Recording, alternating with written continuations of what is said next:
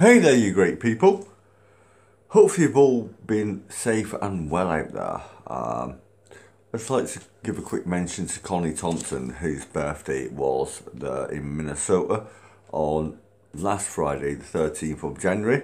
Uh, so, happy birthday to you. Also, really quick shout out to my dad, who, as you know, if you watched my last video, I bought an SD card. The SD card didn't work, it went faulty. My dad literally picked up the SD card yesterday or dropped it through his letterbox. Um, and then earlier on, well, still yesterday, um, he brought me a new SD card back. He went to the store, got the old one back in with a receipt, got an exchange for a brand new SD card, and that's why I'm able to bring you some content now. So thank you so much. I'd also like to say um, to Rory, Beth, Connie, Wiley, or even Andrew at Mini 31. Uh, Rory's obviously carrying 31 YouTube channel. I've been looking at the Pine Martin uh, Mountain sorry store uh, just down the road from you. Uh, look at the pli- price lists and all that for whiskey for everything. Um, what else they sell there? And did they sell tobacco? I'm just interested because that's going to be our closest store for quite a long time. Um, do they sell tobacco or anything else? All the stuff, let me know what else they sell other than spirits and beer and whatever else, yeah? Be interested in that, yeah? So I'm bringing you a reaction video to Vice News again, which is awesome. Great channel. I think they've got about 8 million subscribers, I'm sure. So I'm lucky to be able to subscribe to this. The video is called What Deadly Heat Waves uh, Mean for the Homeless. So I bet it's awful in most cases because in most of America you've got air conditioning in cars, in your houses, in shops and everything else.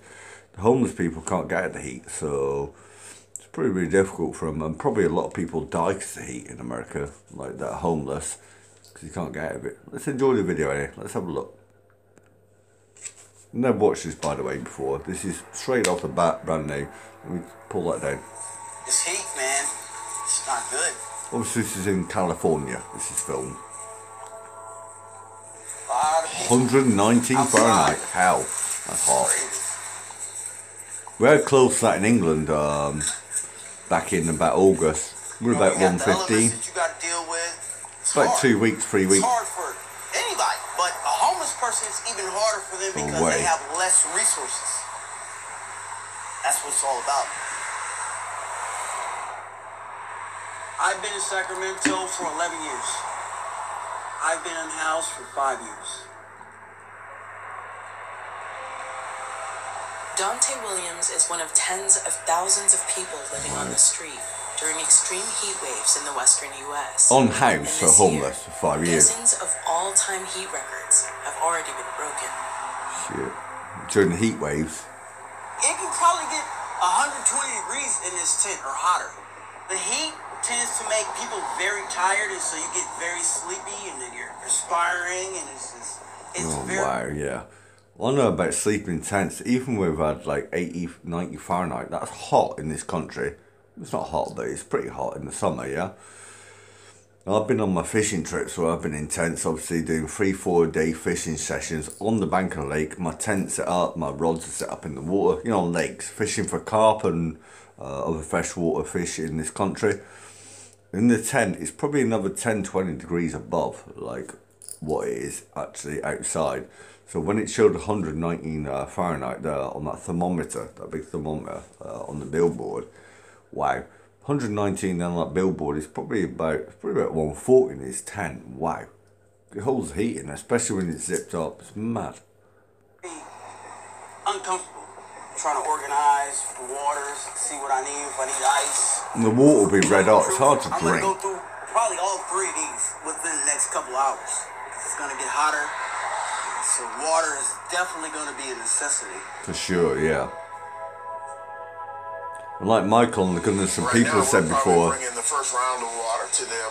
Michael's said before that the water, uh, drink water brings your body temperature Basic down, needs, water. which is true. Hey, Or in the cold, it brings it up. How you doing. Hot, hot. Water, step out. Step out. You're gonna hand out water. Hey, Dante, do you guys cook here?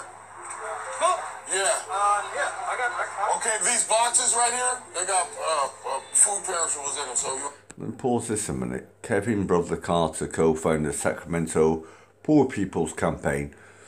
Maybe I can look if he's got a channel separate from Vice, uh, Vice News, what I'm reacting to here, and maybe connect up with him and do some reaction videos, to his content, maybe. Or maybe even like, uh, it's California, is it? So maybe I was thinking gonna come to America this year, maybe even like hook up with him. But California's quite a long way over that way, isn't it? On the uh, west coast from Arizona. I'm just thinking that's all. Take a few of those. Just help most people I Brother can while I'm in America. works closely with Sacramento's unhoused community and gets most of its money from donations. This the worst, the tragedy of it. Because there is no shade around here. And they try to make the best of it with their tents. It's They quite a nice setup. what they have. Okay, there you go. Have a blessed day. Stay cool, alright? Yeah, be blessed. Be thankful for all you have. And these people out on the streets are amazing.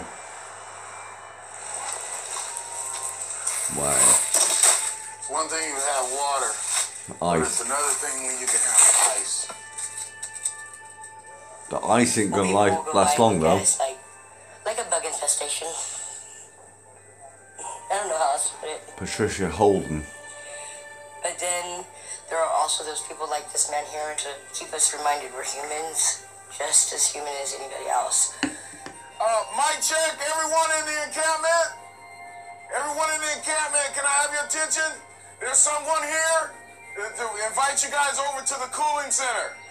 During this heat wave, Sacramento opened three cooling centers to serve the thousands of people without housing or any access to air conditioning. But getting to the centers can be problematic. Mini If they were to open a cooling center around here, I would go to it. But other than that, I'm not gonna go all the way downtown just to go to a cooling center. Would you like to go, ma'am? Oh, I'm okay. I got my dog too. Oh, you got your dog? You can't- No, we take- do not. Sorry, no we do not take pets. Okay. That's the only thing. If if they are not willing to go, we cannot force them. But we are there for anyone who comes. Today we haven't had any come in yet because they usually. And these people, by the way, on the streets here, she's from Evangelist Church. I think he is as well, the other guy, yeah. They're great people doing a great job, but you can't force people to do what they don't want to do. You're often going to a cooling centre. I've never heard that thing in my life, but I'm guessing it's a place where it's going to be air conditioned, probably feed them some meals, you know, like a charity organisation funded by, not by the government, US government or state authority, but funded through donations, I'm guessing. Later in the evening, when it's really gets hot, yesterday we had six people there. You see, that's that's the that's the hardest thing that they don't want to give up. You know, their their space. I hate to see that van leaving empty. Why, no one's Stay gone. Stay cool, stay safe. Take me there? To the cooling center? Yeah. Yeah, come on. Yeah, jump in, hop in. Heat, heat is very dangerous. So you'll be the first person that we take to the cooling center. Not just dangerous, but it's traumatizing. You know what I'm saying? Because uh, the people that are out here, they grow into, you know, um, getting used to it. How long you been in the encampment? Normal life. Four months. Four months. Okay. Why? And that's the way a lot of them think because they've been let down so much. Are you a veteran? My. Oh no. You know, from the people in leadership, and they, I'm guessing by veteran he means, uh, or veteran, whatever you want to call it. I'm guessing he means a veteran of the armed forces. He served a long time in the US Armed Forces, whether it's the Marines, uh, Navy SEALs, or the Army, or whatever. Um, or the Air Force, even, sorry. That's mad. And he's on the streets. Maybe our countries, like even England, should put these armed forces veterans, yeah, that are homeless, before other people coming into our countries. I'm not being racist or anything else, but I'm just telling you the truth, yeah? Maybe. have failed them, so they're used to it. They've gotten used to the elements of it. You don't need to get used to that. It's not on a human It's being. sad, you know. It's, it's still it's disappointing. Yeah. Has to be more proactive than reactive uh, when these situations occur. True. This man speaks a lot of sense. Reminiscing California. makes you angry and bitter, you know, about you know those that are in charge that could do more for them. It's inhumane. governors, late, lo, uh, local state officials, the rest the best of it. They're survivors. could do more. Yeah, like he said.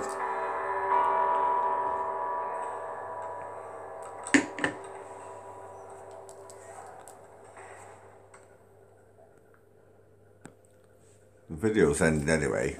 Uh, I hope you enjoyed this video anyway. Um, it's been a while since I did a Vice reaction video. Uh, it's been, well, what, two, three days I think.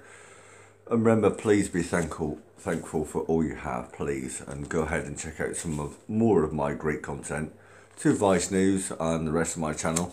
Uh, great reaction videos, content, and playlists on this Paulbhustlin85. If you're not already subscribed, please do so, and please do not obviously forget to like, subscribe, hit the notification bell. Thank you all so much, and have a great day. I love you all.